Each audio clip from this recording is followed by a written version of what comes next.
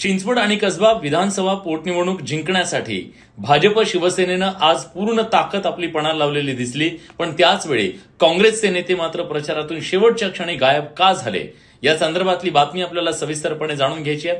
त्याचबरोबर कोकणामध्ये सोन्याच्या खाणी सापडत आहेत का? आणि त्या दृष्टीने आता सरकारनं काय पावलं उचलली गेली आहेत?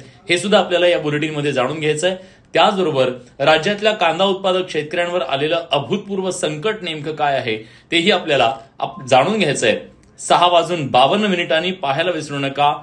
ब्रेकलेस आणि ब्रेथलेस बुलेटिन. न्यूज एटीन लोकमतवर शंभर टक्के बातम्या.